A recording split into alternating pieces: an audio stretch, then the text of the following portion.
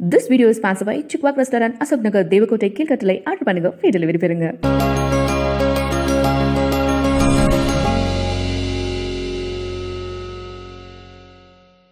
இயற்கையை மருந்து சேனலுடைய மேலும் பல பதிவுகளை தெரிந்து கொள்ள இந்த சேனலை சப்ஸ்கிரைப் செய்யவும் பெல் பட்டனை அழுத்தவும் மேலும் மருத்துவரின் ஆலோசனை பெற இந்த வீடியோவில் உள்ள எண்ணிற்கு தொடர்பு கொள்ளவும் இயற்கை மருந்து நேயர்கள் அனைவருக்கும் எனது வணக்கம். நான் உங்கள் இயற்கை மருத்துவர் Pon Shamli lifestyle physician at doctor Shams Arogyalaya Tenkasi. இன்னைக்கு இயற்கை மருந்து நேயர்களுக்காக ஆர்த்ரைட்டிஸ் வலி வேதனைன்னு சொல்லிட்டு எப்பொழுதுமே ஒரு ஜாயிண்ட் பெயின் இல்லைன்னா எனக்கு கை ஒவ்வொரு சின்ன சின்ன ஜாயின்ஸும் வலிக்குது ஸ்டிஃபாக இருக்குது. எப்பொழுதுமே வந்துட்டு முட்டியில் உள்ள சைடில் வீக்கமும் வலியும் ஒரு ரத்தக்கட்டும் இருந்துகிட்டே இருக்குது. என்னால் டாய்லெட்டில் உட்காந்து எந்திக்க முடியல கீழே தரையில் உட்காந்துட்டு எந்திக்க முடியல கால் மடக்கி உட்கார முடியலன்னு சொல்லிட்டு பல கம்ப்ளைண்ட் சொல்லிக்கிட்டு இருக்கிற இந்த நேரத்தில் இந்த ஒரு காரணம் பல பேருக்கு தெரியறதில்ல.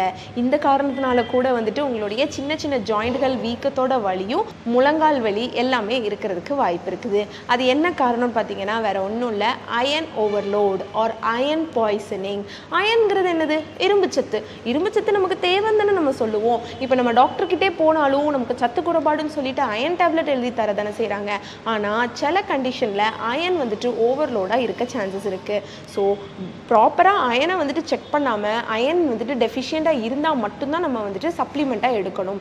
இல்லை அப்படின்னா அது வந்துட்டு சப்ளிமெண்ட்டாக எடுக்கும்போது ஓவர்லோட் இல்லைனா டாக்ஸிக் இல்லைனா பாய்சனிங் ஆகிடுது அயன் பாய்சனிங்னால என்ன ஆகும்?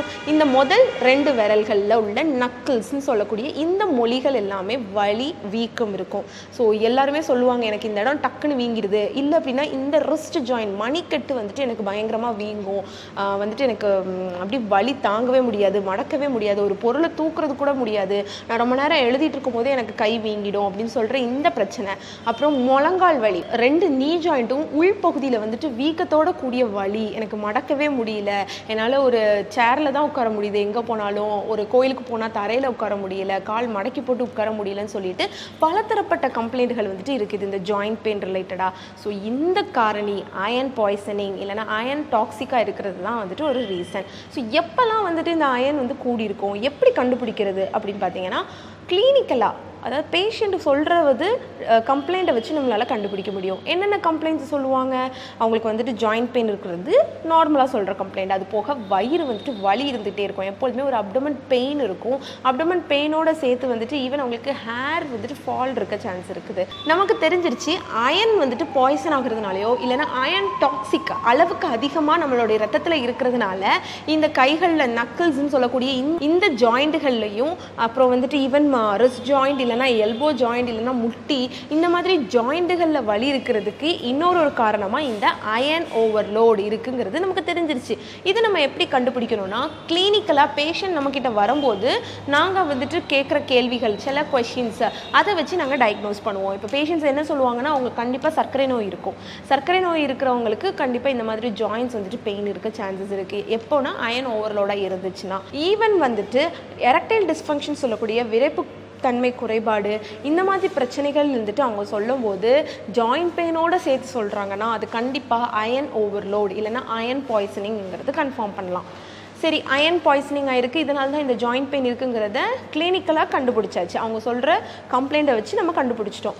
அது போக லேப் டெஸ்ட் அயன் ப்ரொஃபைல் அதாவது ஃபெரிட்டின் எவ்வளோ இருக்குது அயன் எவ்வளோ இருக்குது அப்படின்னு சொல்லிட்டு நம்ம கண்டுபிடிச்சி லேப் டெஸ்ட்டும் நமக்கு ஹெல்ப்ஃபுல்லாக இருக்கும். சரி இந்த ரெண்டையும் வச்சு நம்ம கண்டுபிடிச்சிட்டோம் அயன் கூடுதலாக இருக்குன்னு. இந்த அயன் கூடுதலாக இருக்கும்போது அங்கே என்ன நடக்குதுன்னா பேத்தோஜன்ஸ் பேத்தஜன்ஸ்னு ஒன்று இந்த பெரிய வார்த்தை நினைக்க வேண்டாம். வேறு ஒன்றும் இல்லை microbes bacteria virus fungus even தலையில் வந்துட்டு வர்ற பொடுகு ஒரு ஃபங்கஸ்னு சொன்னேன். நம்மளோட ஸ்கின்ல வரக்கூடிய ஃபங்கல் இன்ஃபெக்ஷன் படர்தாமரையும் ஃபங்கஸ் தான். ஈவன் சிறுகுடலில் கூட ஃபங்கஸ் இருக்கும். இந்த ஃபங்கஸ்ஸு எப்போ அயன் நம்மளோட ரத்தத்தில் கூடுதலாக இருக்கோ அயன் ஓவர்லோட் ஆகும்போது கண்டிப்பாக இந்த ஃபங்கஸ் வந்து அதை சாப்பிட்டு வாழும். அப்படி வாழும்போது அது சம்மந்தப்பட்ட நோய்கள் வரும். பாக்டீரியா அதை சாப்பிடும்போது பாக்டீரியா எந்த கெட்ட பாக்டீரியா அதிகமாக க்ரோ ஆகுதோ அது சம்மந்தப்பட்ட நோய்கள் வரும். ஸோ இந்த ஜாயிண்ட் பெயினை உருவாக்கக்கூடிய ஒரு கெட்ட பாக்டீரியா வந்துட்டு இந்த ஃபங்கஸோ இல்லை பாக்டீரியாவோ அயனை சாப்பிட்டு இந்த ஒரு இந்த பிரச்சனையை உருவாக்கிக்கிட்டு இருக்கு. அப்போ நம்ம அயன் ஓவர்லோட் ஆயிருக்குதுன்னா டெஃபினெட்லி நம்ம என்ன பண்ணணும்? அயனை கம்மி பண்ணணும். முத அயன் எப்படி ஓவர்லோட் ஆகும் அப்படின்னு சொல்லிட்டு உங்களுக்கு ஒரு கேள்வி வரும். ஏன்னா அயன் டெஃபிஷியன்சி இருக்குன்னு சொல்லிட்டு தானே நமக்கு டாக்டர் வந்துட்டு எப்போதுமே அயன் டேப்லெட் எழுதி தராங்க. அப்போ நமக்கு எப்படி அயன் ஓவர்லோட் ஆகும் எப்படி அயன் பாய்சன் ஆகும்னு சொல்லிட்டு நீங்கள் கேட்பீங்க அதிகமாக ஸ்வீட்டுக்கு போட்டு காஃபி குடிக்கிற யாராக இருந்தாலும் அவங்களுக்கு கண்டிப்பாக அயன் ஓவர்லோட் ஆகும். ப்ளஸ் மட்டன் சிக்கன் ப்ரோட்டீன் இருக்கக்கூடிய ஃபிஷ் அண்டு எக் எல்லாமே சாப்பிட்லாம்னு சொல்கிறேன் அதில் எல்லாத்துலேயுமே நல்ல அயன் இருக்குது. அயன் கண்டென்ட் ஹையாக இருக்குது. அதை ரைஸோட மிக்ஸ் பண்ணி நிறைய குவான்டிட்டி ரைஸ் சாப்பிடும்போது கண்டிப்பாக அயன் ஓவர்லோட் ஆகுது. ஸோ அயன் ஓவர்லோட் ஆகாமல் இருக்கணும். அண்ட் அதே டைம் நமக்கு அயன் டெஃபிஷியன்ட் ஆகக்கூடாது. அப்போ என்ன பண்ணணும்? அயன் கண்டிப்பாக எடுத்து ஆகணும் ஸோ என்ன பண்ணணும்? ரைஸோட சேர்த்து எடுக்கக்கூடாது. ரைஸ் அவாய்ட் பண்ணிவிட்டு மட்டன் மட்டும்.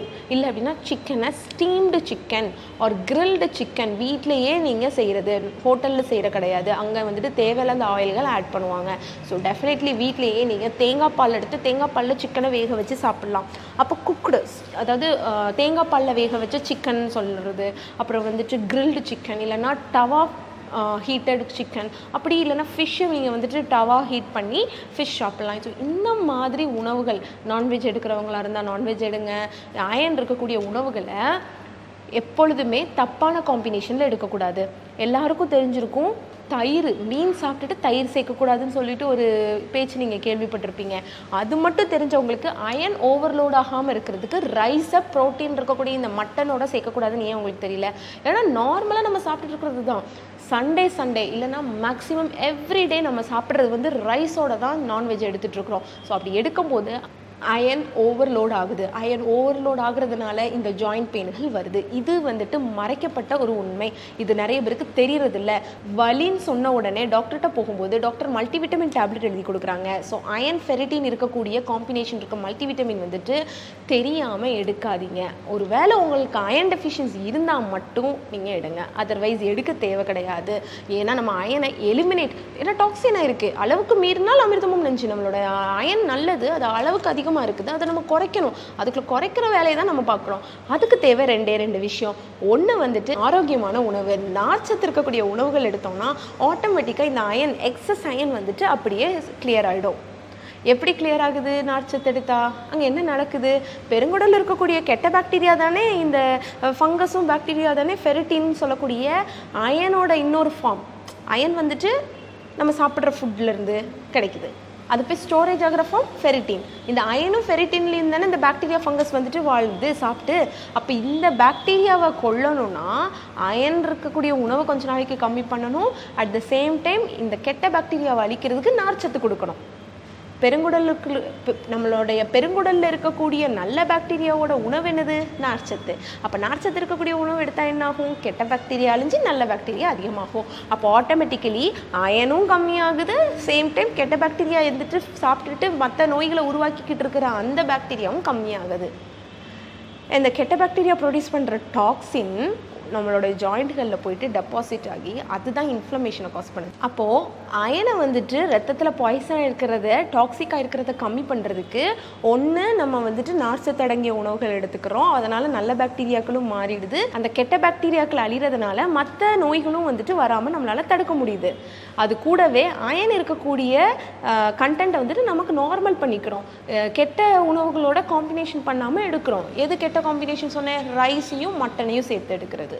ஸோ மட்டன் மட்டும் எடுங்க. அதில் நல்ல கொழுப்பும் இருக்குது நல்ல புரதம் இருக்குது ரைஸில் அதிகமான சுகர் இருக்குது. ஸோ இந்த ஃப்ரக்டோஸோ சுகரோ இல்லைன்னா குளுக்கோஸோ ஒரு ப்ரோட்டீனோட சேரும்போது அது நமக்கு கேடு விளைவிக்குது. ஸோ இப்போ புரிஞ்சிருக்கும்னு நினைக்கிறேன். நீங்கள் நார்ச்சத்து எடுக்கணும். ப்ளஸ் வந்துட்டு ப்ரோட்டீனையும் ஃபேட்டையும் செப்பரேட்டாக எடுக்கணும். குளுக்கோஸ் சுகரோட சேர்த்து எடுக்கக்கூடாது. அயன் டெஃபிஷியன்சி இருக்கிறவங்களும் சரி அயன் வந்துட்டு அதிகமாக இருக்கிறவங்களும் சரி இந்த தப்பை பண்ணக்கூடாது. ஸோ கரெக்டாக வந்துட்டு உணவுகளை எடுத்துக்கணும். ஆரோக்கியமான உணவு பட்டியலை வந்துட்டு ஆலோசனைக்கு பிறகு அதை எடுத்துக்கிட்டிங்கன்னா கண்டிப்பாக அயன் டெஃபிஷியன்சியாக இருந்தாலும் சரி அயன் ஓ ஓவர்லோட் ஆகி பாய்சன் ஆகியிருந்தாலும் டாக்ஸிக்காக இருந்தாலும் சரி பண்ணலாம். இது மொதல் விஷயம் உணவில். ரெண்டாவது விஷயம் என்னன்னு பார்த்தீங்க அப்படின்னா நல்ல காரியமான blood donation so blood donation பண்ணுறதுனால கண்டிப்பாக உங்களோட ரத்தத்தில் இருக்கக்கூடிய எக்ஸஸ் அயன் எக்ஸஸ் ஃபெரிட்டின் இதனால் வரக்கூடிய ஜாயிண்ட் இஷ்யூஸ் கண்டிப்பாக மாறும். சில க்ரைட்டீரியாஸ் இருக்குது அந்த க்ரைட்டீரியாஸை ஃபாலோ பண்ணி நீங்கள் டெஃபினெட்லி உங்களுடைய பிளட் டொனேஷனை நீங்கள் கேட்டு டாக்டரோட கைடன்ஸில் பண்ணிக்கலாம். ஸோ சிக்ஸ் மந்த் ஒன்ஸோ இல்லை ஒன் இயர் ஒன்ஸோ ஃபெரிட்டின் இல்லைன்னா அயன் ஓவர்லோட் ஆகி இந்த ப்ராப்ளம் இருக்கிறவங்க கண்டிப்பாக பிளட் டொனேட் பண்ணுங்கள் அவங்க மட்டும் இல்லை எல்லாரும் பிளட் டொனேட் பண்ணுறதுனால இன்றைக்கி இல்லை நாளைக்கு அது இன்னொருத்தங்களுக்கு கண்டிப்பாக யூஸ்ஃபுல்லாக இருக்கும். இந்த பதிவு உங்களுக்கு வந்துட்டு பயனுள்ளதாக இருந்திருக்கும்னு நினைக்கிறேன். கண்டிப்பாக மற்றவங்களுக்கும் ஷேர் பண்ணுங்கள் அவங்களும் இதை பார்த்து யூஸ்ஃபுல் ஆகட்டும். இன்னொரு ஒரு பதிவில் உங்களை சந்திக்கும் வரை உங்களிடமிருந்து விடைபெறுகிறேன். நன்றி வணக்கம்.